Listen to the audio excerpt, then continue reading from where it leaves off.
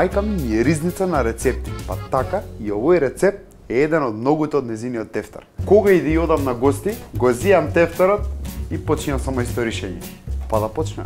Околу 150 мл млеко на собна температура, ставате еден квасец. Го ставате внатре. Лажица шеќер,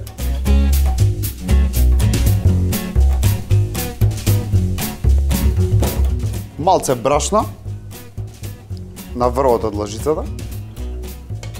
Е, и си мешаш. Шеќер и брашно? Шеќер и брашно ставам за побрзо се развие квасот. Сад за матење, прилика оваа големина. Му ставам лажиче сол и пола лажица голема или едно мало лажиче шеќер. Сеалка, пола кило брашно ги просеувам.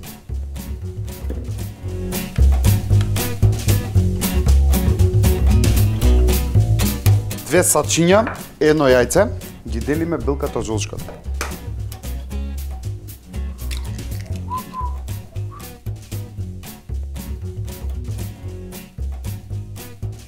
Квасецот со млекцето го додавам у брашното и додавам уште една шолја млеко. Значи све на све пола литар млеко. Потоа додавам пола филџан зејтин, тоа ти е околу 60 мл. Дрвена лажица. Прво замешувам грубо тесто. Откога ќе добиете смеса оваква, што личи на крем, додавате уште пола кило брашно.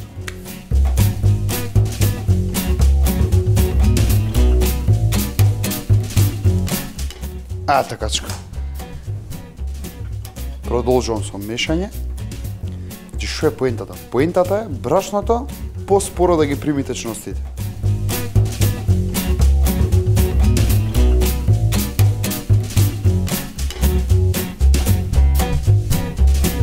Вака грубо замесено, и да, на даска за месење.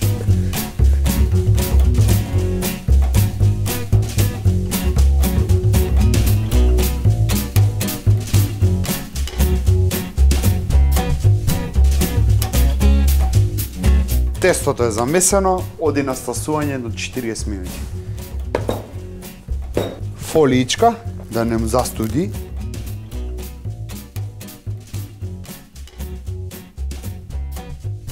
Две китки рукола, ќе ги измиете, ќе ги сеите од вода. Ситно сецкање.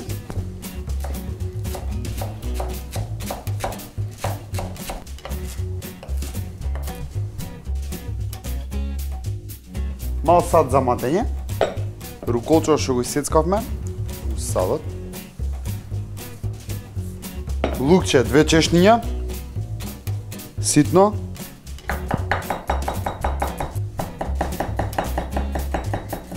Лукчето во руколата.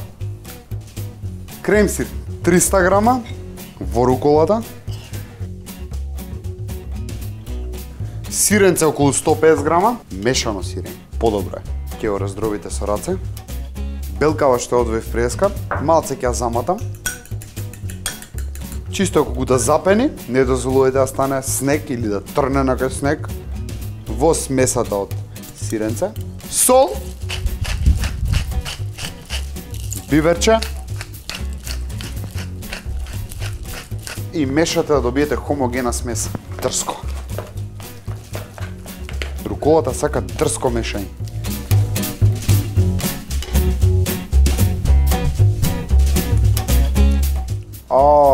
Човече, еј.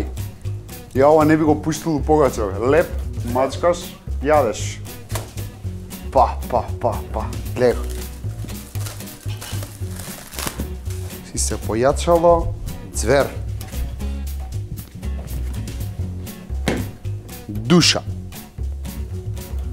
У старт го делам на пола, затоа што за една погача ми е доволно пола од оваа количина, а со другата половина ги си направам блага, пошто од истото тесто можеш да се филуваш со крем, било каков чоколаден овошен, да си направиш блага повече.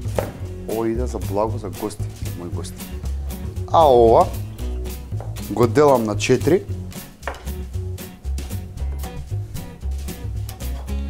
Секоја четвртина ја топчам,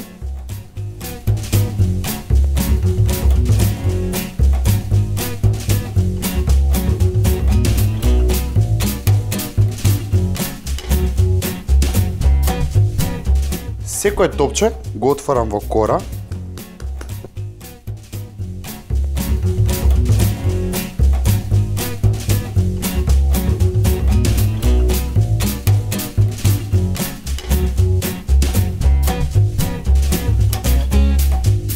ростартавчето.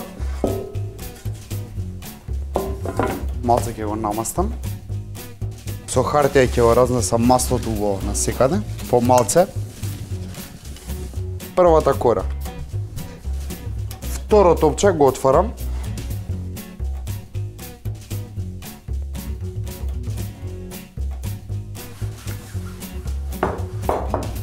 Смесаа да што ја припремив, ја нанесувам на првото тесто. Уо, ќе размачкате сегде.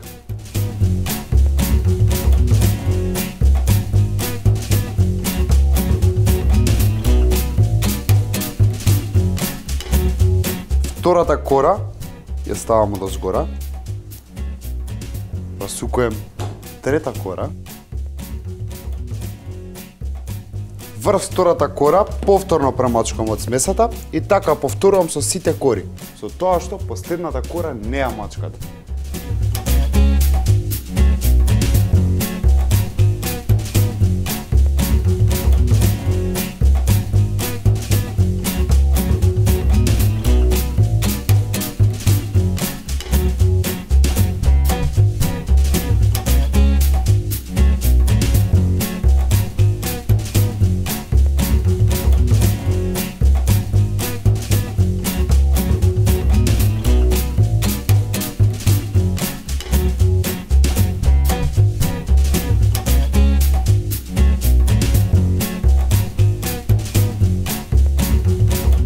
Со помош на чаша го одредувате центаров на кругов. Со малечко ноже ја делам на 16-тини.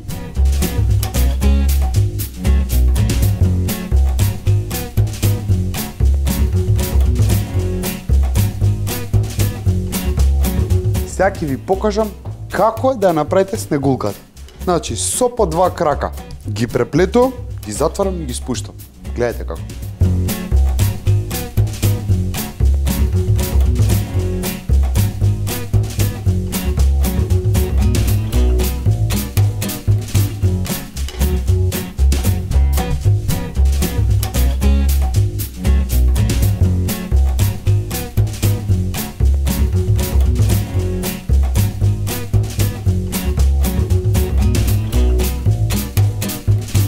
Жолчката што изоев преска, се ја користам.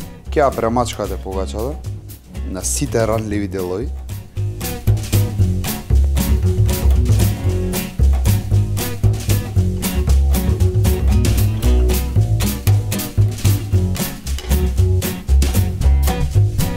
На крај нарасувате со сусамче,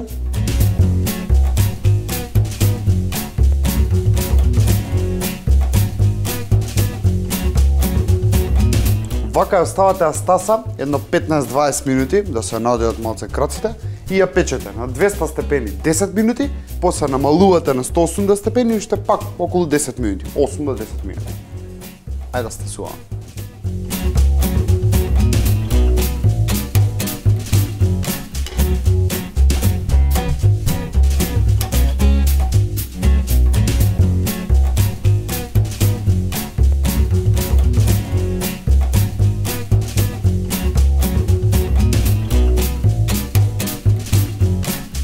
Погача снегулка спремна. Уште снег да ми заврне, сум завршил работа. Е, сега да сервираме. Ја не би ја сервирал, не би ја цепкала посебно, би ја сервирал цела, пошто цело е само кога има се. Значи, само фино лепо, пошто се работи за делимано, гледаш? Само фино лепо ќе ја измакнам и ќе си ја поставам на даска и им викам на гостите, кршете си секој од кај стигне.